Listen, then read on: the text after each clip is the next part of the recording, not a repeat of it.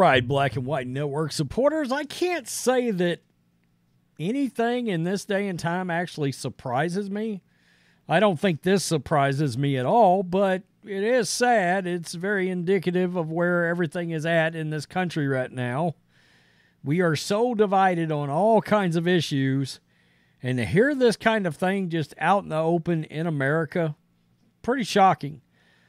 But then again, I never thought that there would be thousands upon thousands of people in the streets three years ago or two years ago. Yeah, three years ago now, uh, burning everything to the ground. I didn't think that would happen and there not be SWAT teams and militarized police forces coming through to just, you know, sweep the streets up of the criminals running amok.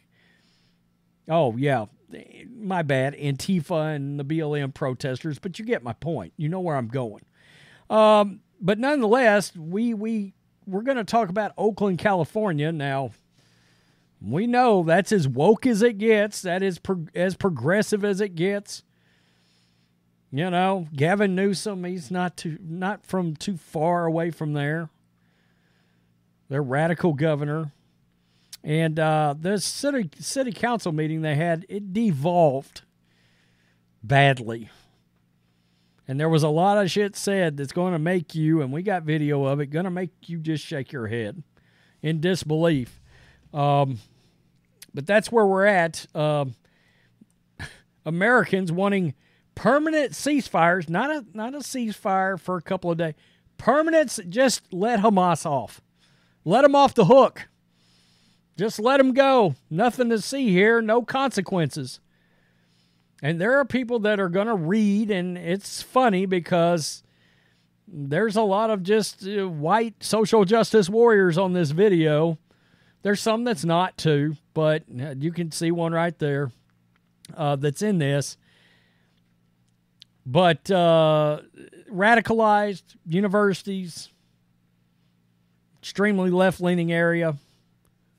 And if you live in these areas, this is what you're living amongst right now. Anti Israel protesters defend Hamas as Oakland City Council meeting descends into chaos over ceasefire resolution. That's right. I'm trying to figure out why are city council meetings even meeting on this issue? This is more of like a global issue, an issue for uh, the leaders at the at the highest level. And I understand it's a shit show at the highest level in our country right now, but you get the point. Why is a city council wasting their time on this? I, I am kind of baffled by that, especially in a in a town, a city where crime is nearly as bad as Chicago. Uh, I'm just wondering. I mean, once again, this tells you leftist priorities are just all jacked up. They care about all the wrong shit. There, I just said it. The city council in Oakland, California, unanimously passed a resolution Monday calling for a permanent ceasefire in the Israel Hamas war, while spurning language that would have condemned the terrorist group for the October 7th massacre following an uproar from anti Israel protesters. Councilman Dan Kalb's amendment spotlighting Hamas's role in the slaughter of an estimated 1,200 people across southern Israel was rejected 6 to 2. The proposal was met by boos from demonstrators who condemned the language as quote anti-Arab with some going as far as to spread conspiracy theories that Israel defense forces had slaughtered Jews to justify an wow justify an invasion of Gaza. Are you kidding me? Right now. There have not been beheadings of babies and rapings. Israel murdered their own people on October 7th, one woman told the city council. Guys, we've got this video right here. Let's just listen. There have not been beheadings of babies and rapings. Israel murdered their own people on October 7th. Calling Hamas a terrorist organization is ridiculous, racist, and plays into genocidal propaganda that is flooding our media and that we should be doing everything possible to combat. I support the right of Palestinians to resist occupation, including through Hamas, the armed wing of the unified Palestinian resistance. As an Arab, asking with this context to condemn Hamas is very anti Arab racist. The notion that this was a massacre of Jews is a fabricated narrative. Many of those killed on October Thank 7th, you, ma'am. Your time is up. Including children, were killed by the IDF. Wow. An amendment condemning Hamas is bald propaganda meant to Thank you. Your time is up. To hear them complain about Hamas violence is like listening to a wife beater complain when his wife finally stands up and fights back. Question. Did anyone else notice that those who oppose this resolution are old white supremacists? There's been a lot of atrocity propaganda ranging from claims of beheaded babies to mass rape. Hamas is not a terrorist organization just because the U.S. and Israel um, deems it so. Hamas is a resistance organization that is fighting for the liberation of Palestinian people and their land. Wow. So that was the city council meeting, and that was the crap that spewed out of the mouths of these people. And look, I understand you can't believe a lot of things that's on the media. We all know that. If we didn't know that, this channel wouldn't exist.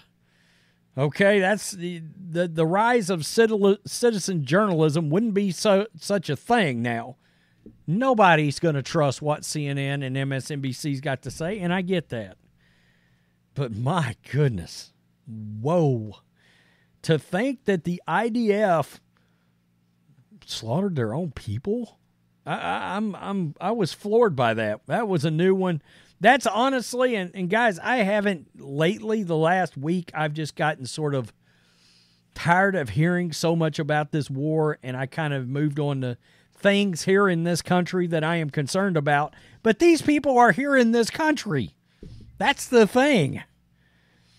So Dan Kalb did not immediately respond to the post for comment that his resolution was rejected. The Oakland resolution ultimately passed without any charged language against Hamas or Israel, with Councilman Carroll Fife noting that it went through four drafts to, in order to be depoliticized it. In order to depoliticize it. Okay. Instead, the measure focused solely on calling for Congress to support a permanent ceasefire in Gaza, along with enduring the release of all hostages held by Hamas. It also urged a more humanitarian aid in the Palestinian enclave. Oakland is the latest American municipality to vote on such a resolution, joining the likes of Detroit, Atlanta, and Providence. Many cities to pass Many of the cities to pass such resolutions have large Arab communities.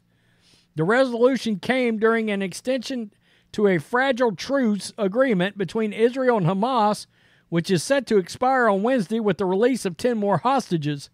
Despite negotiators' claims that both sides appear willing to extend the ceasefire for another two days, no agreement has been reached as of Wednesday morning. That's the people living with you in the United States right now. The people that got up there reading all this. Did you see the teacher in, I think it was New York, the Jewish teacher that had to like hide because there was essentially a riot in the school? I mean, guys, this this is this is crazy.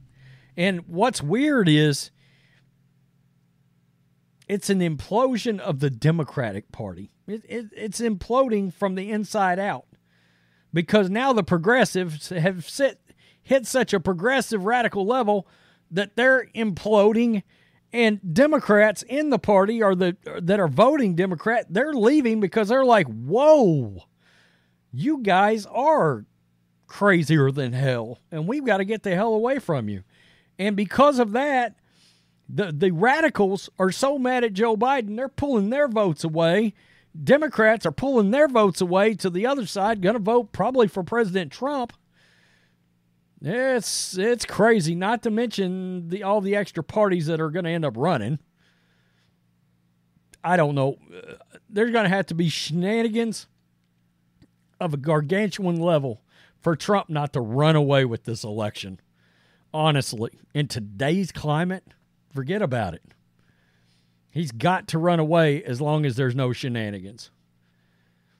Oakland. Oakland. An, Oakland is Chicago light, folks. That's all it is. This is crazy that there are people in this country that think this way. I saw this and was like, oh, yeah, I'm sharing this on a video because, well, Looney Tunes. Wow. Peace. I'm out. Till next time.